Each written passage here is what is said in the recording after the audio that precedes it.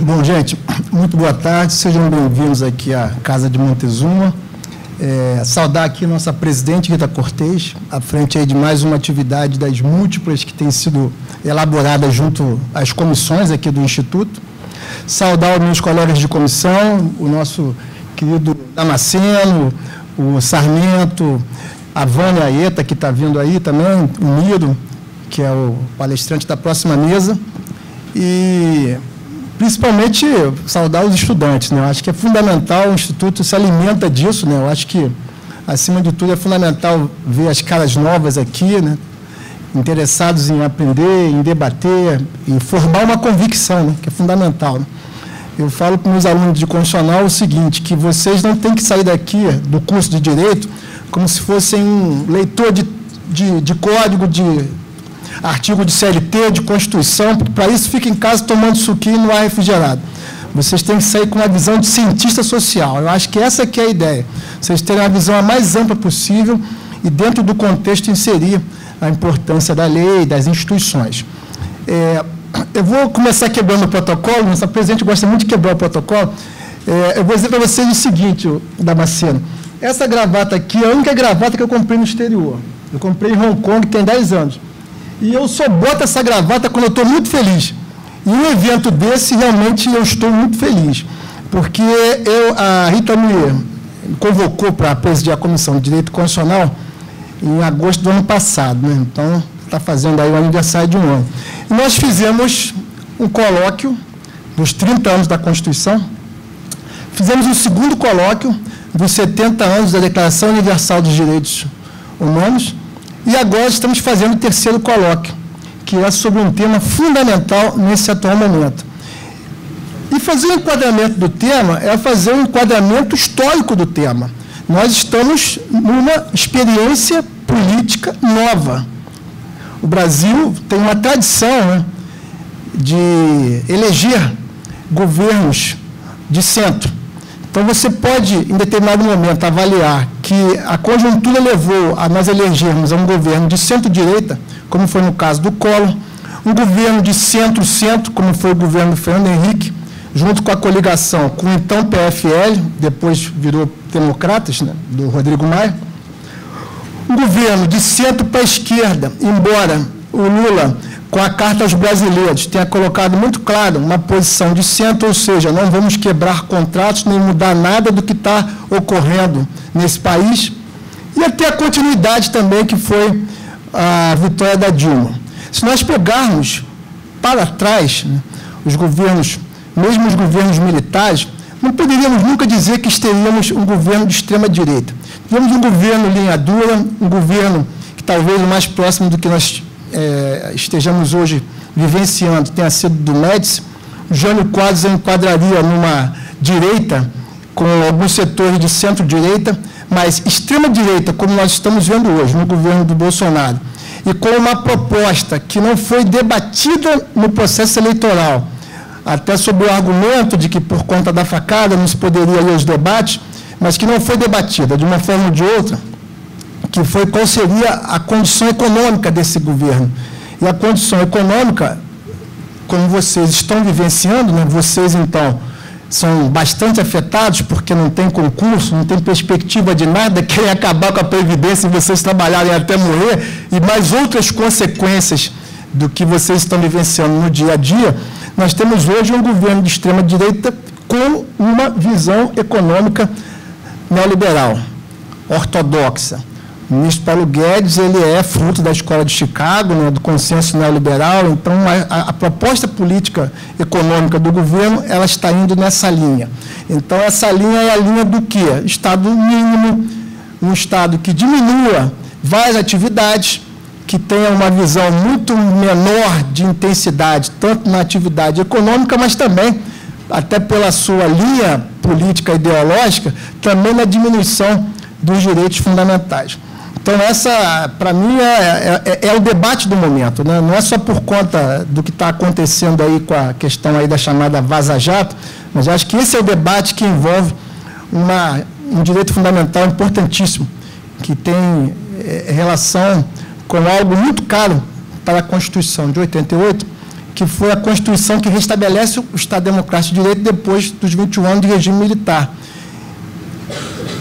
Claro, se nós fizermos um enquadramento do tema, na América Latina, sempre tivemos muitos problemas em relação à liberdade de imprensa, à liberdade de informação. O nosso continente, vamos é, inserir geograficamente como América Latina e principalmente América do Sul, nós sempre tivemos é, momentos políticos em que houve uma divergência muito clara na sua linha de condução política. Né? Ah, primeiro porque aqui sempre foi considerado né, como um quintal dos Estados Unidos. Ou seja, o que, que significa ser um quintal dos Estados Unidos? Significa que são países que automaticamente deve, deverão acompanhar os Estados Unidos a partir daquela orientação de 1808, 1810, da doutrina Monroe. Então, aquela doutrina Monroe, que foi construída e que tem a síntese América para os americanos, e que orienta que os Estados Unidos deva ter uma condução que oriente os seus objetivos, as suas prioridades. Queria saudar a Vânia Eta, que é a nossa palestrante na próxima mesa, e que tem essa condução política de que, para defender os seus interesses, os Estados Unidos não têm é, limite, ou seja, todas as questões, todos os aspectos, eles são válidos para obedecer aquilo que interessa para o Estado enquanto potência, enquanto hegemon, isso pode ser adotado, desde tratados de livre comércio, como acordos bilaterais, como também aquilo que nas relações internacionais nós chamamos de hard power, intervenções. Então, a história da América Latina tem vários processos de intervenção, em uns mais variados países. Só vou citar Cuba, República Dominicana, para não não, vários países, temos vários exemplos. Então, essa linha de condução política é uma linha em que, de uma forma ou de outra, leva os nossos países a ter automaticamente, né, e principalmente pela própria orientação das elites dos nossos países, de ter uma condução muito voltada aos interesses americanos. E nesse contexto, o papel da imprensa, ele sempre foi muito importante, porque é, um dos problemas que já foram detectados, e aí eu vou citar dois organismos importantes. Primeiro, é, a Comissão de Internacional, a, a Corte Interamericana de Direitos Humanos. E a própria Organização das Nações Unidas, em dois momentos distintos, mas que simbolizam que um dos grandes problemas que ocorre na América Latina é a concentração da mídia. Então, nós temos, é, nos nossos países, poucos grupos que detêm uma concentração, um controle demasiado dos aparelhos de mídia. Então, essa concentração, ela acaba sendo uma concentração bastante, é, um complicador para os o processo democrático, até porque você tem, basicamente, os grandes meios de comunicação que têm determinados interesses que vão conflitar com os interesses do governo ou vão estar totalmente de acordo, seja porque dependem economicamente, seja porque existe alguma situação de favorecimento, etc, etc, etc. Então, por conta disso, nós temos aí é, algumas consequências, que são consequências bastante complexas, como, por exemplo, morte de jornalistas, é, vários grupos jornalísticos que acabam tendo uma posição de vantagem em relação, em relação a outros, a concentração desses meios facilitando que grupos é, que pensam de forma diferente, eles possam ter é, a, a sociedade ou mesmo a parte majoritária dessas empresas de mídia. Então, isso acaba levando a uma dificuldade da ampliação dos processos democráticos. Quem é mais antigo vai, vai lembrar que, na época da Constituinte, nós tivemos uma, uma, uma, um debate interessante sobre o período do mandato do Sarney, os quatro anos de mandato ou os cinco anos de mandato do Sarney. E uma das questões mais importantes é que, para entre aspas, convencer parlamentares a votar no, na ampliação do mandato, justamente foi utilizado o acesso a distribuidoras de, de, de é, vinculadas às grandes redes de, de televisão. Então, vários das, dos grupos que estão em outros municípios, outras regiões do país, que têm uma vinculação com a Rede Globo, que são afiliadas, eles conseguiram a concessão naquele momento. E a concessão é uma concessão pública. Você tem que ter o controle da sociedade no sentido de saber a qualidade daquela informação, no sentido de ter acesso à democratização daqueles programas que são veiculados, e nós não temos isso de uma forma efetiva, justamente porque há uma dificuldade de ter uma visão mais abrangente da importância do papel da mídia nesse contexto. Então, eu entendo que a questão na América Latina é uma questão extremamente complexa, é uma questão que assume hoje uma proporção muito maior na medida em que, com o avanço tecnológico, nós, nós temos, com o avanço tecnológico, essas redes de, de informações que são falsas. Hoje você tem robôs, hoje você tem vários instrumentos de manipulação da mídia e que são veiculados sem qualquer tipo de responsabilidade, sem qualquer tipo de controle. Isso acaba, de uma certa forma, disseminando a própria democracia. É, além das fake news, né, nós incluímos no debate essa ideia do, do lawfare, porque é, eu não posso deixar de mencionar o caso da Lava Jato. A Lava Jato ela começa dentro de um, de um processo de investigação da questão que envolve a corrupção no país, etc, etc. Bom, ela assume uma proporção muito maior do que o seu início. E por que isso? Porque embora a corrupção ela seja algo que deve estar no contexto da sociedade, a sociedade tem que ter preocupação com a corrupção, tem que ter preocupação com o controle de gastos públicos, tem que ter acesso a essa informação, a, a participar das atividades do Congresso Nacional. Nós temos a Constituição que previu os instrumentos de democracia participativa, utilizar a ação popular e vários outros instrumentos né, que envolvem o Ministério Público, a Advocacia Pública, a Defensoria Pública, etc., etc., etc., se convencionou que a, é, a corrupção ela começa a partir do momento que a Lava Jato passa a investigar.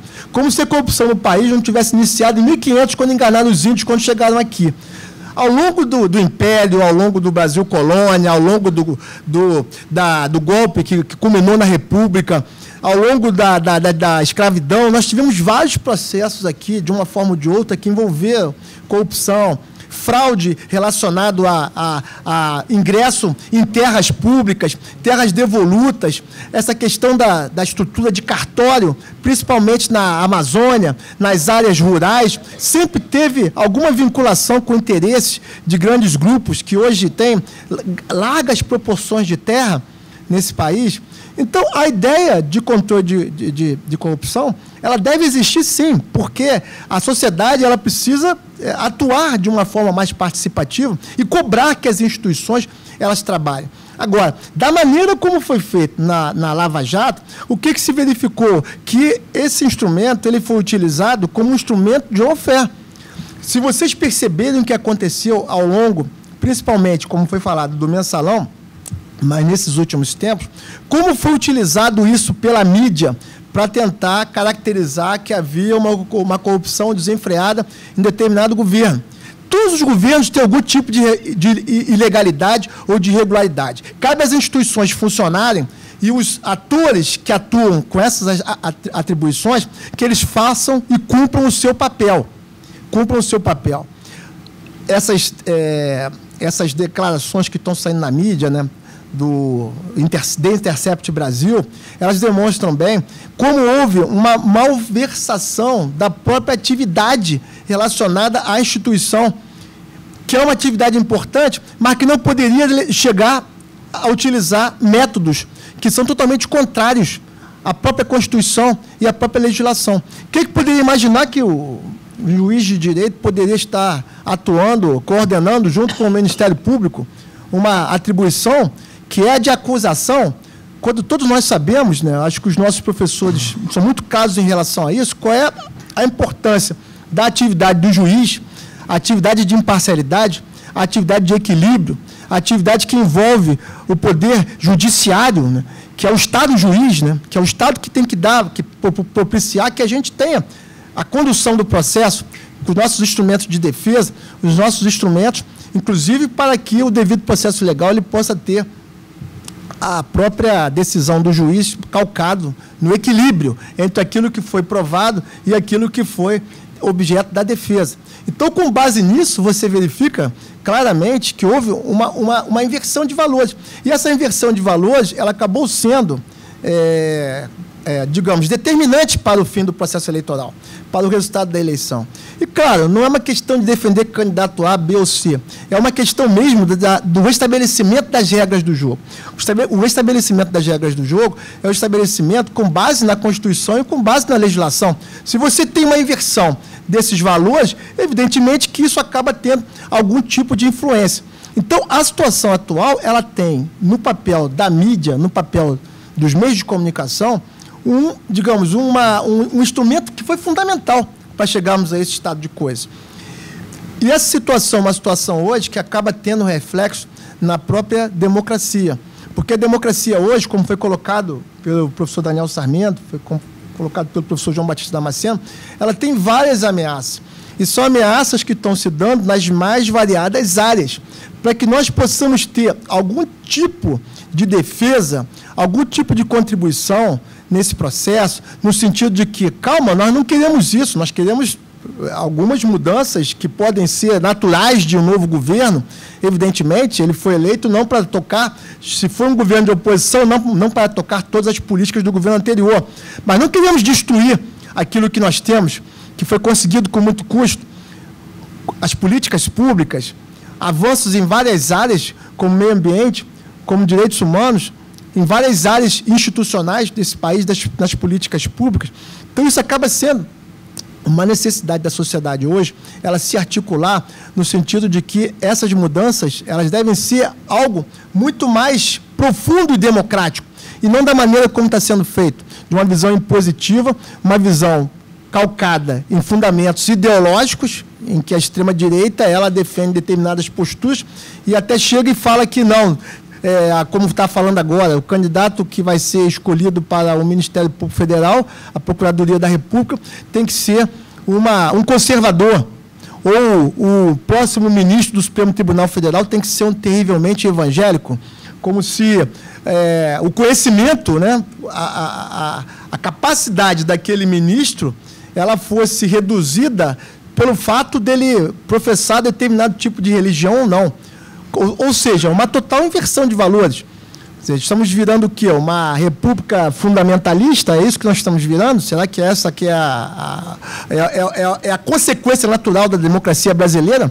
É virar uma república teológica, fundamentalista, em que determinados valores são aceitos e outros não são aceitos, porque eles vão de encontro a isso? Então, isso é, é, é muito preocupante. É muito preocupante. E a questão da liberdade de informação e de imprensa, ela acaba sendo uma espécie de anteparo, porque isso é muito caro para o Estado democrático. A atividade do jornalista, a atividade de todos aqueles que querem difundir uma informação, ela acaba sendo fundamental, inclusive, para que as pessoas possam ter acesso ao conhecimento.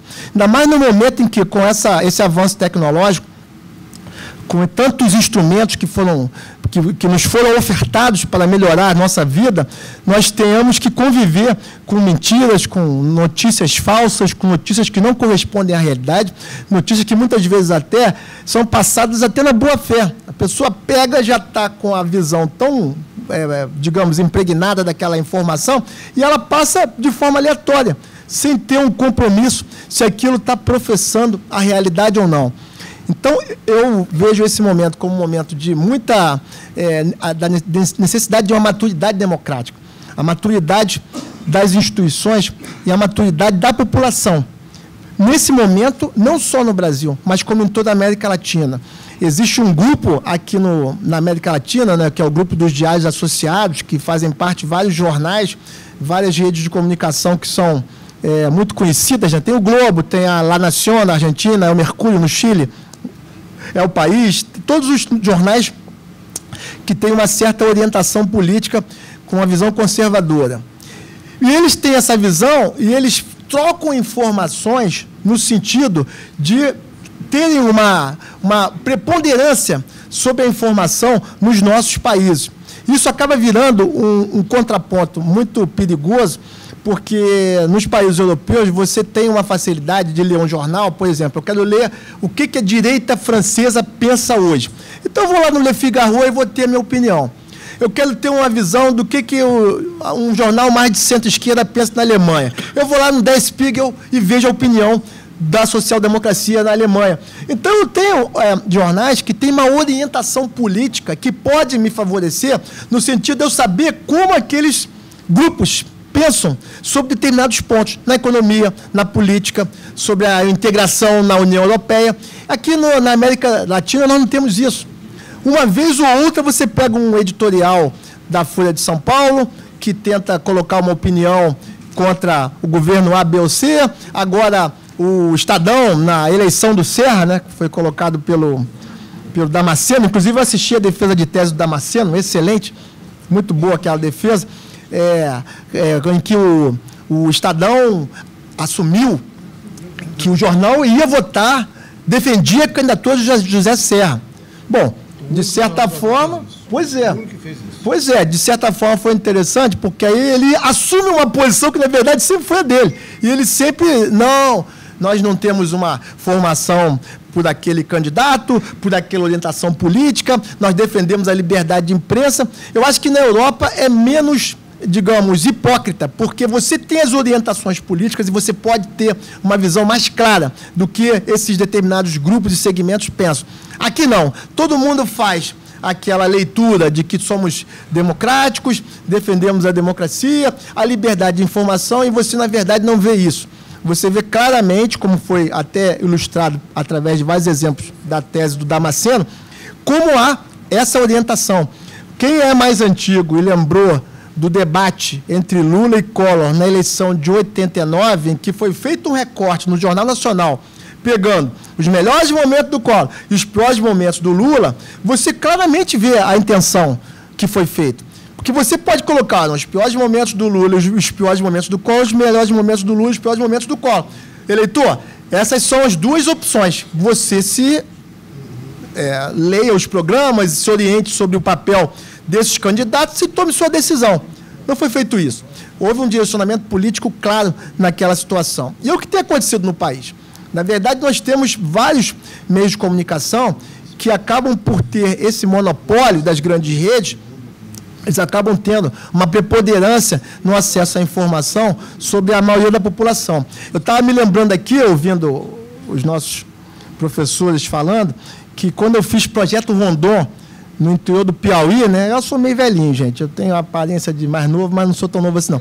Em 81, em 81 foi o último ano, foi o último ano que teve, que teve é, projeto Rondon naquela primeira leva do regime militar.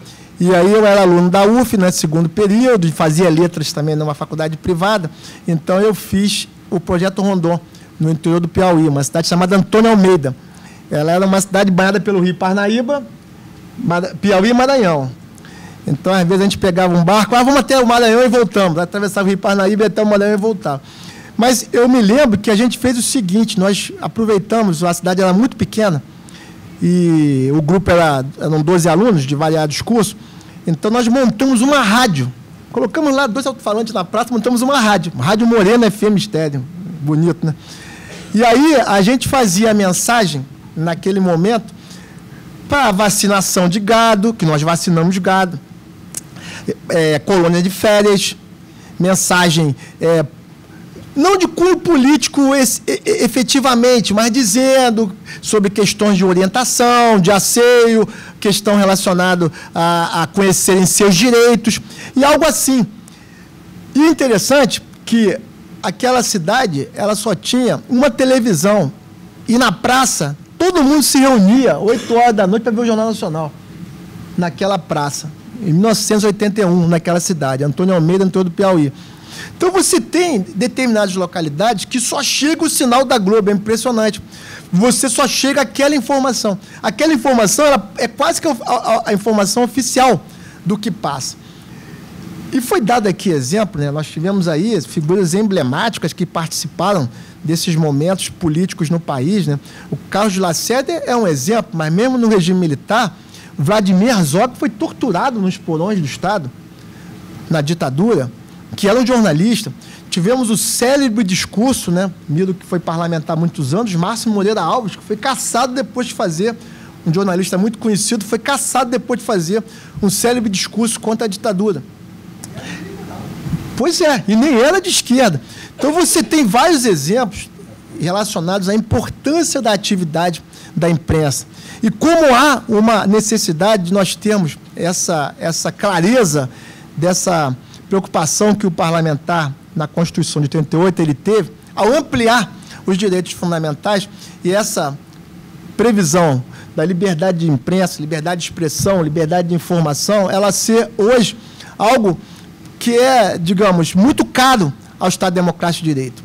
Então, essa situação de fake news, lawfare, essas questões que envolvem as instituições que, infelizmente, não estão funcionando da maneira correta, não estão funcionando. E aí, claro, né, não, não, não generalizando, pelo amor de Deus, porque a pior coisa que tem a generalizar, mas algumas situações importantes que, ao longo desses últimos anos, têm sido objeto de, uma, de decisões ao, ao, mesmo tempo né, equivocadas, mas também eh, decisões que não entram ao mérito de questões importantes para a democracia, isso acaba, de uma certa forma, fragilizando a própria democracia brasileira. Então, nós que temos, ah, debatemos aqui na, no ano passado, né, os 30 anos da Constituição, todos os, os avanços, todas as situações que demonstram a necessidade de aperfeiçoamento das instituições democráticas, mas numa democracia tão jovem, uma democracia de 30 anos de, do restabelecimento do regime militar, né? a Constituição 30 anos e 33 anos da, do restabelecimento do, do regime militar para o regime democrático. E como é importante aperfeiçoar esses mecanismos, eu acho que na sala de aula, eu acho que nos bancos escolares, eu acho que nessas atribuições para o qual você se propõe a atuar, seja no Ministério Público, seja na Defensoria Pública, seja na Advocacia Pública, principalmente nas instituições policiais, é importantíssimo que a gente tenha realmente algumas diretrizes básicas da consolidação do Estado Democrático de Direito. Então, a defesa das instituições democráticas, os direitos humanos, os direitos sociais, garantia dos direitos individuais e coletivos, ah, os instrumentos de democracia participativa, participa, é, democracia representativa. Isso, esses instrumentos são instrumentos muito caros à consolidação do Estado democrático. Então, eu acho que o aperfeiçoamento da democracia brasileira hoje, ele se encontra numa situação preocupante, uma situação de risco, porque as pessoas elas ainda estão num estado, digamos, de uma certa letargia. Vamos ter amanhã um evento relacionado à educação, né, aqui na, na Cinelândia, por volta das 17 horas. E eu acho que é importante que as pessoas marquem presença, que elas manifestem a sua, a sua opinião, a sua expressão relacionado ao que está acontecendo. É, nesse país, por exemplo, né, as universidades que têm mais de 95% da pesquisa nacional, que são instituições importantes dentro desse processo que envolve o desenvolvimento, que envolve a, a educação, que envolve é, ensino, pesquisa, extensão, né, atuação no sentido do país se desenvolver no avanço tecnológico, no avanço científico, do país ter alguma inserção na esfera internacional, é fundamental que nós tenhamos a clareza da importância das universidades, por exemplo. Isso é algo que também precisa ser objeto da nossa preocupação, porque instituições fragilizadas elas acabam levando o país a retroceder, levando o país a ter é, pesquisas que estão em curso, que são importantes para o desenvolvimento do país, elas ficarem sem verbas e, tem, e sem um processo de, de continuidade. E, bom, eu já estou aqui no final do meu tempo, eu queria lembrar vocês o seguinte, é, essa questão, por exemplo, da, da liberdade de informação, eu tive agora com a minha esposa, aproveitei uns diazinhos de férias e fui ao, ao Japão, né, e a Coreia do Sul, agora em julho, e é, enfim, né? Eu cheguei na, no Japão, né? Eu planejei a viagem em fevereiro. Talvez não tivesse planejado se eu soubesse o que, que ia acontecer, né? Porque eu cheguei um dia antes do G20, né? E quando eu chego no, no G20, a informação da chegada do nosso presidente, daquele avião da fábrica com 39 quilos de cocaína, aquilo apareceu na mídia né, japonesa. Né? Não teve nenhuma conversa relevante, não, não foi não apareceu nenhum, eu procurei lá alguma participação, né? Em reuniões do BRICS, em reuniões relevantes para o Brasil, né, que pudesse ter alguma consequência prática, e não teve nenhuma participação. Né? Eu acompanhei lá pela mídia japonesa e não teve nenhuma, nenhuma repercussão. Por que eu estou falando isso? Para pegar o exemplo que o, o Damasceno deu aqui. Né? Você, quando tem uma mídia isenta, você tem algumas questões que acabam sendo colocadas no sentido das pessoas terem conhecimento, das pessoas terem acesso à informação. E isso praticamente não teve nenhuma consequência prática. Alguém ouve, lê alguma coisa sobre isso na mídia? Não, não tem mais essa informação na mídia, essa questão dos 39 quilos de cocaína. Como não tem outras questões também que são importantes. Tem vários assassinatos de trabalhadores no campo, que não é nenhuma novidade no Brasil, mas tem ocorrido, de defensores dos direitos humanos, também não tem aparecido na mídia. Várias questões relacionadas. Agora tem acontecido alguma coisa em relação aos indígenas, porque isso tem saído muito na mídia internacional.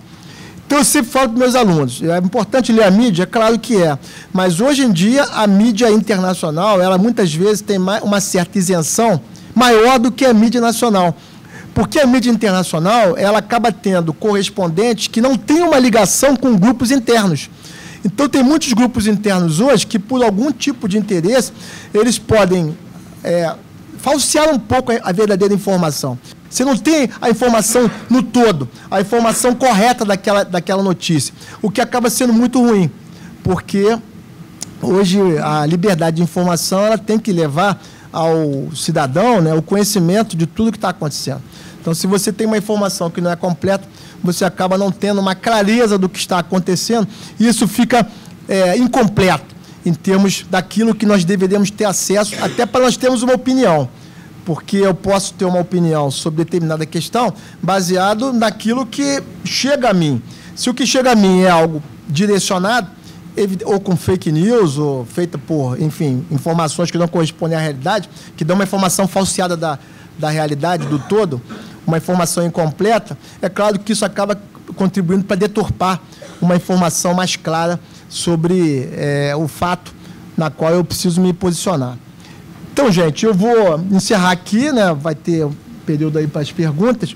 Agradecendo a participação de vocês e é, nós sempre temos eventos aqui das mais variadas comissões.